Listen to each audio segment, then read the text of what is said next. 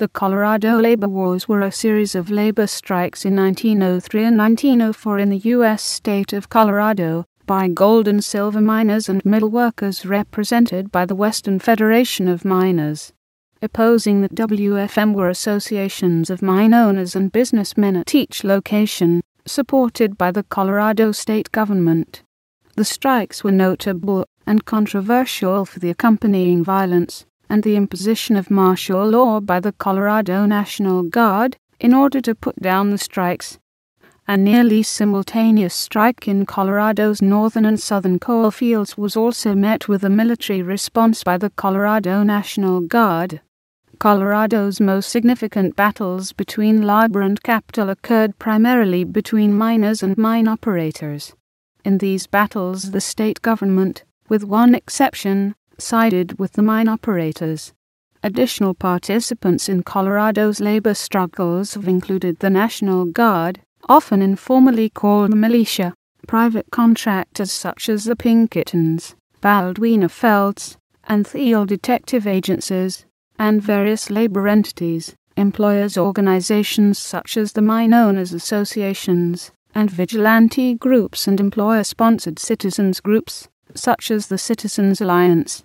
In 1880, miners represented 29% of Colorado's working population, declining to 13.7% in 1900. Colorado miners were divided into two groups hard rock miners and coal miners. Following Colorado's gold rush, most of the easily worked placer gold deposits were quickly exhausted. Miners turned to hard rock mining of gold and silver in Colorado's mountainous areas. Numerous mountain communities grew up next to the mines. Towns such as Central City, Leadville, Telluride, Idaho Springs, and the Cripple Creek District. The Colorado labor wars took place at the precious metal mines and ore mills during the same period, but considered separate from the Colorado labor wars. The United Mine Workers of America, attempting to organize the Colorado northern and southern fields, called a strike in September 1903. The Colorado National Guard under Adjutant General Sherman Bell took the side of the mine owners against the miners.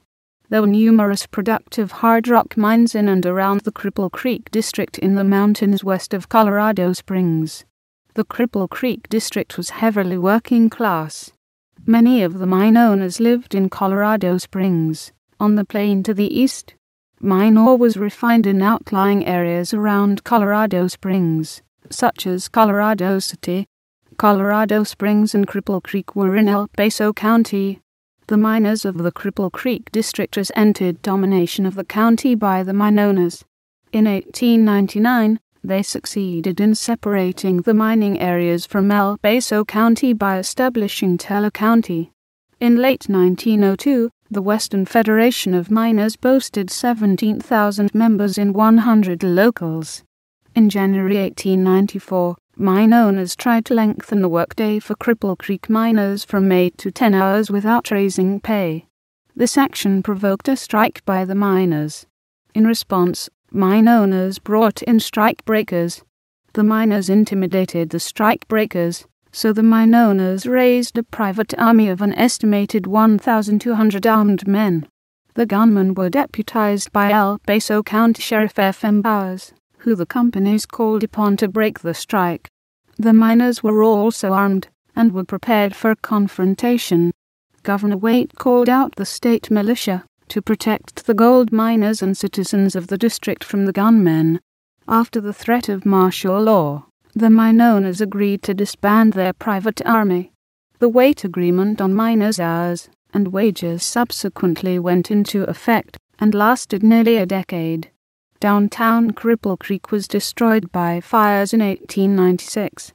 Carpenters and other construction workers rushed to the area to rebuild the city, and unions arose to organize them. The Carpenters Union and other unions owed their leverage to the Western Federation of Miners. The strike victory in 1894 provided the clout which empowered unionism throughout the district, enabling the WFM to build labour organisations at the district, state, and regional levels. Under the leadership of Ed Boyce, Cripple Creek unions also helped to organize and provided leadership for the Western Labor Union, a federation formed in response to the American Federation of Labor, which had federated the craft unions in the East. In 1899, the WFM wrote Industrial Unionism, its response to the AFL's craft philosophy, into its charter,